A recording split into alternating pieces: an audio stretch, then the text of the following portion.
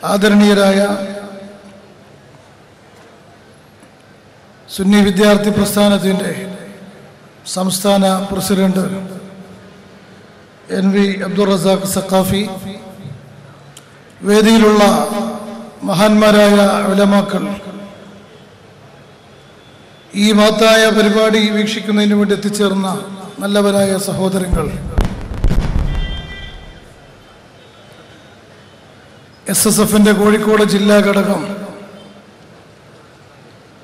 സംഘടിപ്പിച്ചിട്ടുള്ള മാനവിക സംഗമത്തിന്റെ സമാപന സെഷനിൽ സൗഹാർദ്ദ സമ്മേളനത്തിലാണ് നാം ഇവിടെ ഒരുമിച്ച് കൂടിയത്. കേരളത്തിന്റെ ആദരണീയരായ ഇസ്ലാമിക പണ്ഡിത നേതൃത്വം മഹാനായ ഷെയ്ഖുന സുൽത്താനുൽ അലമ കാന്തപുരം ഉസ്താദ് ഉൾപ്പെടെയുള്ള മഹാരഥന്മാരായ പണ്ഡിതന്മാരും സാമൂഹ്യ സാംസ്കാരിക രാഷ്ട്രീയ രംഗത്തെ പ്രമുഖരുടെയും സാന്നിധ്യം കൊണ്ട് ധന്യമായ ഒരു സദസ്സാണ് ഇവിടെ ഇപ്പോൾ നാം പങ്കെടുത്തുകൊണ്ടിരിക്കുന്നത്. സമകാലിക കേരളത്തിന്റെ സാമൂഹ്യ മണ്ഡലത്തിൽ നിന്ന് സുഖകരമല്ലാത്ത ഒരുപാട് വാർത്തകൾ നമ്മൾ കേട്ടുകൊണ്ടിരിക്കുകയാണ്. നമ്മുടെ ചരിത്ര പാരമ്പര്യത്തിന് നിരക്കാത്ത ഒട്ടനവധി സംഭവ വികാസങ്ങളാണ് നമ്മൾ ജീവിക്കുന്ന ഈ കേരളത്തിലും പരിസരത്തൊക്കെ വിശിഷ്യ ഇന്ത്യ രാജ്യത്ത് നമ്മൾ കെട്ടുകൊണ്ടിരിക്കുന്നത്. നാം നേടിയെടുത്ത സാമൂഹ്യ സാംസ്കാരിക സാമ്പത്തിക രംഗത്തുള്ള നേട്ടങ്ങൾ. നമ്മുടെ സാമൂഹ്യ ജീവിതത്തിന്റെ ഭദ്രതയ്ക്ക് വേണ്ടി ഉപയോഗപ്പെടുത്തുന്നതിന് പകരം നമ്മുടെ മനസ്സുകളെ പരസ്പരം അകറ്റാനും ഭിന്നിപ്പിക്കാനും നമ്മുടെ മഹത്തായ കൂട്ടായ്മയുടെ ആ ശക്തിയെ നശിപ്പിക്കാനും ഉള്ള ശ്രമങ്ങളാണ് ഇവിടെ പലപ്പോഴായി നമ്മൾ കണ്ടുകൊണ്ടിരിക്കുന്നത് അല്ലെങ്കിൽ കേട്ടുകൊണ്ടിരിക്കുന്നത്. ഇങ്ങനെയുള്ളൊരു സാഹചര്യത്തിലാണ് സുന്നി വിദ്യാർത്ഥി പ്രസ്ഥാനം എല്ലാ മനുഷ്യരുടെയും ഹൃദയങ്ങളെ മാനവികതയുടെ മഹത്തായ പട്ടുനൂലിൽ കോർത്തിണക്കിക്കൊണ്ട് നല്ലൊരു മനുഷ്യ സമൂഹത്തെ കെട്ടിപ്പടുക്കുന്നതിന് വേണ്ടി ഒരു സൗഹാർദ്ദ സുന്ദരമായ ഒരു അന്തരീക്ഷം ഉണ്ടാക്കിയെടുക്കുന്നതിന് വേണ്ടി ഇങ്ങനെ ഒരു പരിപാടി ഇവിടെ സംഘടിപ്പിച്ചിട്ടുള്ളത്. അതിനിടയിൽ ഒരു കാര്യം ഓർമ്മപ്പെടുത്തുകയാണ്. ഈ മഹത്തായ പരിപാടി ഏതെങ്കിലും ഒരു ഗ്രാമത്തിൽ സംഘടിപ്പിക്കുന്നത് പോലെയല്ല കോഴിക്കോട് നഗരത്തിൽ സംഘടിപ്പിക്കുമ്പോൾ ഒരു ഭാരിച്ച സാമ്പത്തിക ചെലവുകളൊക്കെ ഉണ്ട് എന്ന് നിങ്ങൾക്കറിയാം. അതുകൊണ്ട് ഈ വിഷയത്തിലേക്ക് നിങ്ങളെ കൊണ്ട് കഴിയുന്ന പരമാവധി സംഭാവനകളും സഹായങ്ങളൊക്കെ നിങ്ങളെ സമീപിക്കുന്ന വളണ്ടിയർമാരുടെ വശം ഏൽപ്പിക്കണമെന്നുകൂടി ഇടയ്ക്ക് വെച്ച് അതിന്റെ സ്വാഗത സംഘത്തിന്റെ ചെയർമാൻ എന്ന നിലയ്ക്ക് നിങ്ങളെ അറിയിക്കുകയാണ്. അപ്പൊ ഏതായിരുന്നാലും പ്രിയപ്പെട്ട സഹോദരന്മാരെ എസ് എസ് എഫിനെ സംബന്ധിച്ചിടത്തോളം ഈ മാനവിക സംഗമത്തിന്റെ ഭാഗമായി കൊണ്ട് തന്നെ ഈ ക്യാമ്പയിന്റെ ഭാഗമായി നമ്മുടെ ഗ്രാമങ്ങളിൽ ഒരു പുതുമയാർന്ന പ്രവർത്തനം ഈടെ നടക്കുകയുണ്ടായി. സൗഹാർദ സൗഹൃദ ചായ എന്ന പേരിലുള്ള ഒരു ചായക്കട നൂറ്റാണ്ടുകൾക്ക് മുമ്പ് അല്ലെങ്കിൽ പതിറ്റാണ്ടുകൾക്ക് മുമ്പ് നമ്മുടെ ഗ്രാമങ്ങളിൽ ഉണ്ടായിരുന്ന ആ സ്നേഹത്തിന്റെയും സഹവർത്തിത്വത്തിന്റെയും സഹിഷ്ണുതയുടെയും ചരിത്രങ്ങളെ അനാവരണം ചെയ്തുകൊണ്ട് പുനരാവിഷ്കരിച്ചുകൊണ്ട് നമ്മുടെ ഗ്രാമങ്ങളിൽ ഉണ്ടായിരുന്ന കേളുവേട്ടന്റെയും അതേപോലെ തന്നെ അമ്മദക്കയുടെയും ആ ചായക്കടകളായിരുന്നു നമ്മുടെ നാട്ടിന്റെ ഏറ്റവും വലിയ സൗഹാർദ്ദത്തിന്റെയും സ്നേഹത്തിന്റെയും വിളനിലങ്ങൾ. ഒരു ബെഞ്ചിലിരുന്നു കൊണ്ട് ആ നാട്ടിലുള്ള വിവിധ മതവിശ്വാസികൾ ഒരുമിച്ച് കൂടി ചായ കുടിച്ച് ഇപ്പുറത്ത് ചായ കുടിക്കുന്ന ആൾക്ക് കാശ് കൊടുക്കാനില്ലെങ്കിൽ ഇപ്പുറത്തെ ആൾ കൊടുത്ത് ആ നാട്ടിന്റെ സ്നേഹവർത്തമാനങ്ങൾ പരസ്പരം ഷെയർ ചെയ്ത് ഒരുമിച്ചിരുന്ന് ഒരുമിച്ച് ചിരിച്ച് ഒരുമിച്ച് ഇറങ്ങിപ്പോകുന്ന ആ സൗഹൃദത്തിന്റെയും സ്നേഹത്തിന്റെയും ഓരോ ആവിഷ്കാരമായിരുന്നു എസ് നമ്മുടെ ഗ്രാമങ്ങളിൽ ഇതിനോടനുബന്ധമായി നടത്തിയ ആ സൗഹൃദ ചായക്കട എന്ന് ഞാൻ ഈ അവസരത്തിൽ ഓർക്കുകയാണ്. പ്രിയപ്പെട്ട സഹോദരന്മാരെ നാം ചിന്തിക്കുക. ഇവിടെ സാമൂതിരിയുടെ ധന്യമായ സ്മരണകൾ അയവറക്കുകയുണ്ടായി. മാപ്പിള മലബാറിന്റെ ചരിത്ര പാരമ്പര്യം മുസ്ലിമീങ്ങളായ മാപ്പിളമാര് അമുസ്ലിമീങ്ങളായ സാമൂതിരിയും ഈ മലബാറിന്റെ സാമൂഹ്യ സാംസ്കാരിക രാഷ്ട്രീയ മുന്നേറ്റത്തിൽ ഒരുമിച്ച് നിന്നുകൊണ്ട് നേടിയെടുത്ത ആ മഹത്തായ നേട്ടങ്ങളെ കുറിച്ചാണ് അല്ലെങ്കിൽ കഴിഞ്ഞ കാലഘട്ടത്തിന്റെ ആ സൗഹാർദ്ദപരമായ ആ ഒരു സ്നേഹനിർഭരമായ ആ മുന്നേറ്റത്തിലൂടെ നമുക്ക് ഉണ്ടാക്കിയെടുക്കാൻ പറ്റിയ കാര്യങ്ങളെ കുറിച്ചാണ് നമ്മുടെ പ്രഭാഷകന്മാരെല്ലാം നിങ്ങളെ സൂചിപ്പിച്ചത്. ചാലിയത്തെ പള്ളി അതാ പോർച്ചുഗീസുകാർ വന്ന് ആക്രമിക്കുകയാണ്. ആ പള്ളിയുടെ മരങ്ങളും കല്ലുകളും ഉപയോഗപ്പെടുത്തിക്കൊണ്ട് ചാലിയത്ത് പോർച്ചുഗീസുകാർ കോട്ട പണിയുകയാണ്. ഈ കോട്ട പിടിച്ചെടുക്കാൻ വേണ്ടി സാമൂതിരിമാര് സാമൂതിരി രാജാവ് ആഹ്വാനം ചെയ്തപ്പോൾ മഹാനായ ഷേഖ് ഹുസൈനുദ്ദീൻ മഖ്ദൂം റളിയല്ലാഹു അൻഹു അവിടുന്ന് ഫത്വ കൊടുക്കുകയാണ്. സാമൂതിരിയുടെ നായർ പടയോട് ചേർന്ന് നിന്നുകൊണ്ട് ഈ രാജ്യത്തുള്ള മുസ്ലിം സമൂഹം ഒരുമിച്ച് നിന്നുകൊണ്ട് ഒരേ ഒരു സഹോദരന്മാരായി ആ കോട്ട പിടിച്ചടക്കി ബ്രിട്ടീഷുകാർ പോർച്ചുഗീസുകാരെ വിദേശ ശക്തികളെ ഈ നാട്ടിൽ നിന്ന് കെട്ടുകെട്ടിക്കാൻ വേണ്ടി ശ്രമിക്കണമെന്ന്.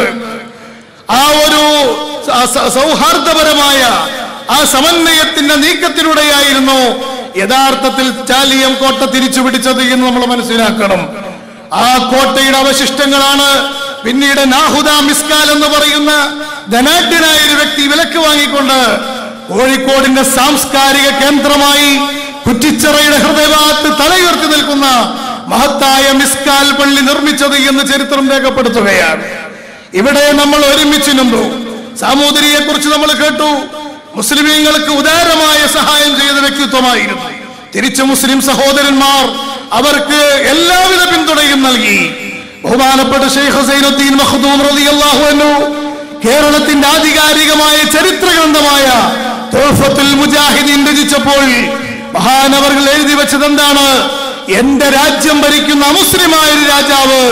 ആ രാജാവിന്റെ കീർത്തി ലോകം മുഴുവനും വ്യാപിക്കട്ടെ എന്നുള്ള ആശംസയോട് കൂടിയാണ് മുജാഹിദീൻ എന്ന് പറയുന്ന ഗ്രന്ഥം ലോകത്തിന് മുമ്പിൽ ബഹുമാനപ്പെട്ട മഹത്വം സമർപ്പിച്ചതെങ്കിൽ നിങ്ങൾ ചിന്തിക്കുക ആ സാമൂതിരിയുടെ ധന്യമായ ഓർമ്മകൾ മാപ്പിള മലബാറിന്റെ ധന്യമായ ഓർമ്മകൾ നമ്മുടെ രാജ്യത്ത് കഴിഞ്ഞ കാലത്ത് നിന്നിരുന്ന സ്നേഹത്തിന്റെയും സൗഹാർദ്ദത്തിന്റെയും സഹിഷ്ണുതയുടെയും കഥകളാണ് പറയുന്നതെങ്കിൽ ഇന്ന് നമ്മൾ ഇവിടെ ഭിന്നിപ്പിന്റെയും വിഭാഗീയതയുടെയും അനൈക്യത്തിന്റെയും വിഷവിത്തുകളായി ആറ്റം ബോംബുകളായി മാറിക്കൊണ്ടിരിക്കുന്ന ദാരുണമായ ഒരു കാഴ്ചയാണ് പലപ്പോഴും നമ്മൾ കണ്ടുകൊണ്ടിരിക്കുന്നത്.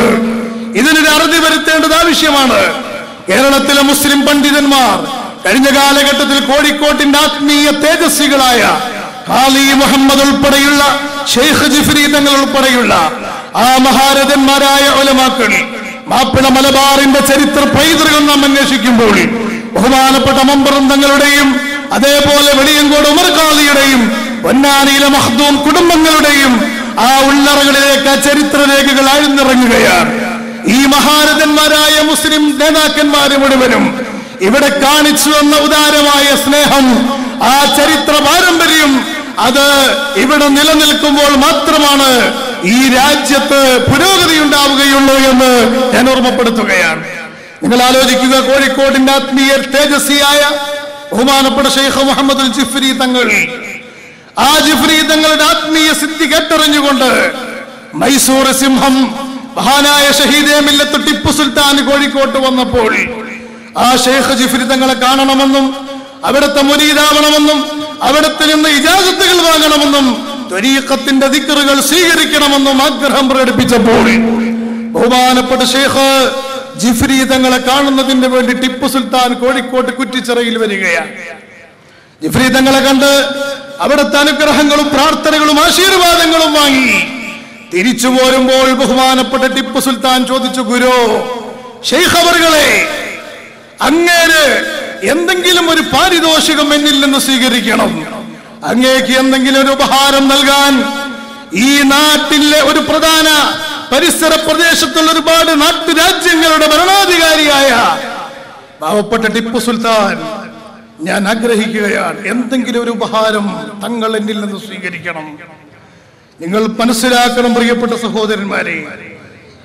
ഇസ്ലാമിക സമൂഹത്തിന്റെ ആത്മീയ നായകന്മാരായ ഔലിയാക്കന്മാർ ഇസ്ലാമിക സമൂഹത്തിന് നേതൃത്വം നൽകിയ മതപണ്ഡിതന്മാർ അവർ ഈ രാജ്യത്ത് കാണിച്ചു വന്ന സ്നേഹവും സൗഹാർദ്ദവും നിങ്ങൾ പഠിക്കുക. ബഹുമാനപ്പെട്ട ഷെയ്ഖ് ജിഫ്രി തങ്ങൾ പറഞ്ഞു ടിപ്പു സുൽത്താനോട് നിങ്ങൾ എനിക്ക് നൽകാൻ ഉദ്ദേശിക്കുന്ന പാരിതോഷികം ഉപഹാരം ഞാൻ പറയാം. ഈ കോഴിക്കോട്ടുള്ള മുഴുവൻ ജനങ്ങൾക്കും വെള്ളം കുടിക്കാൻ ആവശ്യമായ ഒരു തടാകം നിങ്ങൾ ഉണ്ടാക്കി തരണം. ഇവിടെയുള്ള മുസ്ലിമീങ്ങൾക്ക് എന്നല്ല പറഞ്ഞത്. ഈ നാട്ടിലുള്ള മുഴുവൻ ആളുകൾക്കും ശുദ്ധജലത്തിന് ആവശ്യമായ ഒരു സംവിധാനം നിങ്ങൾ ഉണ്ടാക്കി തരണം. കോഴിക്കോടിന്റെ ചരിത്ര പ്രസിദ്ധമായ മാനാഞ്ചിറയുടെ ആ ചരിത്രത്തിന്റെ പിൻഭാ പിൻഭാഗത്തേക്ക് നിങ്ങൾ ടോർച്ചടിച്ചാൽ മഹാനായ ഷെയ്ഖ് ജിഫിരി എന്ന ഇസ്ലാമിക സമൂഹത്തിന്റെ ആത്മീയ നായകനും മഹാനായ ടിപ്പു സുൽത്താന്റെയും കരങ്ങൾ. അങ്ങനെ ടിപ്പു സുൽത്താൻ സാമൂതിരി രാജാവുമായി ബന്ധപ്പെട്ട് കുളം നിർമ്മിക്കുന്നതിന് ആവശ്യമായ സ്ഥലം വിലക്ക് വാങ്ങി. ഈ രാജ്യത്തുള്ള മുഴുവൻ ജനങ്ങൾക്ക് വേണ്ടിയും അത് നീക്കിവെച്ചു എന്നാണ് കോഴിക്കോടിന്റെ ചരിത്രം പറയുന്നത്. മാപ്പിള മലബാറിന്റെ ചരിത്രം അതാണ്. പിന്നെ ആരാണ് ഇവിടെ ഭിന്നിപ്പുണ്ടാക്കിയത്? ആരാണ് ഇവിടെ വിഭാഗീയതയുണ്ടാക്കിയത്? മുസ്ലിം സമുദായത്തിൽപ്പെട്ട ഏതൊക്കെയോ ചില ചെറുപ്പക്കാർ തീവ്രവാദ പ്രസ്ഥാനങ്ങളിലേക്ക് നീങ്ങിക്കൊണ്ടിരിക്കുന്നു എന്ന വാർത്ത. ശുഭകരമല്ലാത്ത ചില വാർത്തകൾ മാധ്യമങ്ങളിലൂടെ നമ്മൾ വായിച്ചറിഞ്ഞു. അത് ശരിയാണോ തെറ്റാണോ എന്ന് എനിക്കറിയില്ല. എങ്കിലും ഒരു കാര്യം പറയുന്നു ഇസ്ലാമിനെ സംബന്ധിച്ചിടത്തോളം ലോകത്ത് ഏറ്റവും കൂടുതൽ സമാധാനവും ശാന്തിയും നിഷ്കർഷിച്ച ഒരു മതത്തിൽ നിന്ന് ഒരു കുട്ടി പോലും തീവ്രവാദത്തിലേക്ക് പോവില്ല. എന്നാൽ തീവ്രവാദ പ്രസ്ഥാനങ്ങളിലേക്ക് ആകൃഷ്ടരായിക്കൊണ്ട് പുറപ്പെട്ടു പോയി എന്ന് പറയുന്ന കേരളത്തിന്റെ മുക്കുമൂലയിൽ നിന്ന് ഇറങ്ങിപ്പോയി എന്ന് പറയുന്ന ആളുകളുടെ വിശ്വാസവും ആചാരവും ചരിത്രവും പരിശോധിച്ചപ്പോൾ അവർ മുഴുവനും സെലഫിസം എന്ന് പറയുന്ന ചിന്താധാരയിൽ ആകൃഷ്ടരായിക്കൊണ്ട് അഥവാ ഈ ഔലിയാക്കളെയും ആരിഫീങ്ങളെയും സ്വാലിഹീങ്ങളെയും മഹാന്മാരെയും മതപണ്ഡിതന്മാരെയും തള്ളിപ്പറഞ്ഞുകൊണ്ട് പുതിയൊരു മതപരിഷ്കരണ സിദ്ധാന്തവുമായി രംഗത്ത് വന്ന അത്തരം പ്രസ്ഥാനത്തിൽ ആകർഷിക്കപ്പെട്ടവരായിരുന്നു എന്നാണ് അവരെ കുറിച്ച് അന്വേഷിച്ചപ്പോൾ നമുക്ക് മനസ്സിലാക്കാൻ സാധിക്കുന്നത്. യഥാർത്ഥത്തിൽ ഞാൻ പറയുന്നു ഇസ്ലാമിന്റെ വഴി അത് മമ്പുറന്തങ്ങളുടെ വഴിയാണ്. എസ് എസ് എഫുകാര് പിന്തുടരുന്ന വഴി അതാണ്. മലപ്പുറം ജില്ലയിൽ എസ് എസ് എഫ് സംഘടിപ്പിച്ച മാനവ സംഗമത്തിന്റെ മുദ്രാവാക്യം തന്നെ മമ്പുറം തങ്ങളും കോന്തുനായരും എന്നുള്ളതായിരുന്നു. കണ്ണൂർ ജില്ലയിൽ നടക്കുന്നു മങ്ങാട്ടച്ചനും കുഞ്ഞായിൻ മുസ്ലിയാരും എന്ന പേരിൽ. നമ്മുടെ പണ്ഡിതന്മാർ നമ്മുടെ ആലിമ്യങ്ങൾ ഇസ്ലാമിക കേരളത്തിന്റെ ചരിത്രം രചിച്ച മഹാരഥന്മാരായ വിപ്ലവ പ്രസ്ഥാനത്തിന്റെ നായകന്മാരും നവോത്ഥാന സാരഥികളും ഈ രാജ്യത്തൊരിക്കലും അനൈക്യമുണ്ടാക്കിയിട്ടില്ല. അവർ സ്നേഹമാണ് അവർ സൗഹാർദ്ദമാണ് അവർ ഈ രാജ്യത്ത് ഊട്ടിയുറപ്പിച്ചത് എന്ന് നിങ്ങൾ മനസ്സിലാക്കേണ്ടിയിരിക്കുകയാണ്. ആയതുകൊണ്ട് നേരത്തെ ബഹുമാനപ്പെട്ട ഷെയ്ഖുന കാന്തപുരം ഉസ്താദ് പറഞ്ഞതുപോലെ തൊപ്പിയും താടിയും നീളക്കുപ്പായവും ധരിച്ച യഥാർത്ഥ മുസ്ലിമീങ്ങൾ മുസ്ലിമായി ഇവിടെ ജീവിക്കണം. അതൊരിക്കലും തീവ്രവാദത്തിന്റെ ഐഡന്റിറ്റി അല്ല.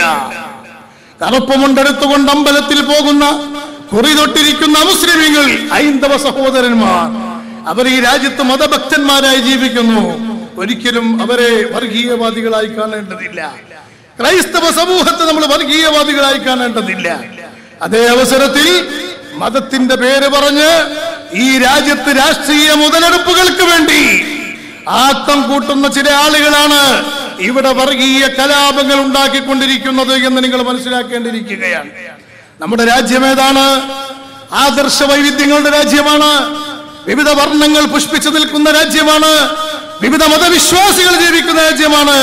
സാരേ ജഹാം അച്ഛ ഹിന്ദുസ്ഥാൻ അമാര എന്ന ആ പ്രൗഢമായ മുദ്രാവാക്യം ഈ രാജ്യത്തിന്റെ മനോഹരമായ അന്തരീക്ഷത്തിൽ ഇവിടെ തളം കെട്ടി നിൽക്കുകയാണ്.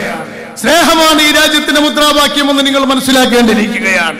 ഇവിടെ ഒരിക്കലും സംഘടന ഉണ്ടായിട്ടില്ല അതുകൊണ്ട് തന്നെയാണ് ഏക സിവിൽ കോഡിന് വേണ്ടി മുറവിളി കൂട്ടുന്ന ആളുകളോട് ഞങ്ങൾക്ക് ഓർമ്മപ്പെടുത്താനുള്ളത്. രാജ്യത്തിന്റെ ഭരണഘടന ഈ രാജ്യത്തുള്ള ജനങ്ങൾക്ക് അനുവദിച്ചിട്ടുള്ള മതസ്വാതന്ത്ര്യത്തെ നിഷേധിക്കൽ മാത്രമല്ല ഈ രാജ്യത്തിന്റെ വൈവിധ്യമാർന്ന സംസ്കാരത്തെ ഈ രാജ്യത്തിന്റെ മനോഹാരിത തുളുമ്പി നിൽക്കുന്ന സാംസ്കാരിക വൈവിധ്യത്തെ തകർത്തുകൊണ്ട് ഇവിടെ എന്തൊക്കെയോ സ്ഥാപിക്കാനുള്ള ഗൂഢനീക്കങ്ങളുടെ ഭാഗമാണോ എന്ന് ചിന്തിക്കേണ്ടിയിരിക്കുകയാണ്. സ്നേഹവും സൗഹാർദ്ദവും നമ്മൾ ഊട്ടിയുറപ്പിക്കുക. അല്ല അല്ലാ തഅദിലു ഇഅദിലു ഹുവ അഖറബു ലിത്തഖ്വ. വിശുദ്ധ ഖുർആന്റെ പ്രഖ്യാപനം അതാണ്. മതപരമായി അതേപോലെ മറ്റുള്ള നിലക്കുള്ള വൈജാത്യങ്ങൾ മനുഷ്യർക്കിടയിൽ ഇവിടെ ഉണ്ട്. ആ വിഭാഗീയതയും ആ രാഷ്ട്രീയ സാമൂഹിക അതേപോലെ വർണപരമായ മറ്റുള്ള നിലക്കുള്ളതായ വിഭാഗീയതകൾ ഒരിക്കലും നിങ്ങളെ അനൈക്യത്തിലേക്കും അനീതിയിലേക്കും പ്രേരിപ്പിക്കാൻ പാടില്ല എന്ന് പഠിപ്പിച്ച ആശയമാണ് വിശുദ്ധ ഖുർആന്റെ ആശയം. ആ ഒരു സൗഹാർദ്ദം നമ്മുടെ രാജ്യത്ത് നിലനിൽക്കണം. നേരത്തെ പറഞ്ഞില്ലേ നമ്മുടെ സാമൂതിരി രാജാവ് അദ്ദേഹത്തിന്റെ വിശ്വസ്തരായ ഭടന്മാർ മരക്കാർ സമൂഹമായിരുന്നു. കോഴിക്കോട്ടെ കോയമാരുടെ ചരിത്രം ഹോജാക്കന്മാരെന്നാണല്ലോ കോയമാരെ കുറിച്ച് പറയുന്നത്. അറബ് സമൂഹത്തിൽ നിന്ന് കേരളത്തിന്റെ കോഴിക്കോട്ടേക്ക് കടന്നു വന്ന ഈ ഹോജാക്കന്മാരാണ് പിന്നീട് കോയമാരായി പരിവർത്തിക്കപ്പെട്ടതെങ്കിൽ കോയമാരുടെയും മരക്കാരുമാരുടെയും ആ ചരിത്രത്തെ മാറ്റി നിർത്തിക്കൊണ്ട് ഈ മലബാറിന്റെ സ്വാതന്ത്ര്യ സമര ചരിത്രം എഴുതാൻ നമുക്ക് സാധിക്കുകയില്ല.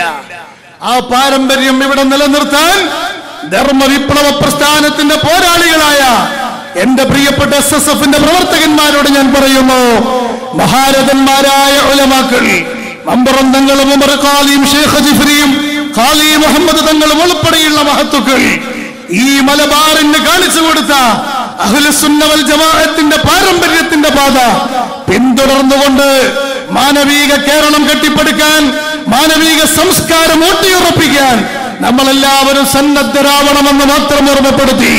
വാഹിർ ദഅ്വാന അനിൽ റബ്ബിൽ ആലമീൻ. അസ്സലാമു അലൈക്കും വറഹ്മത്തുള്ളാഹി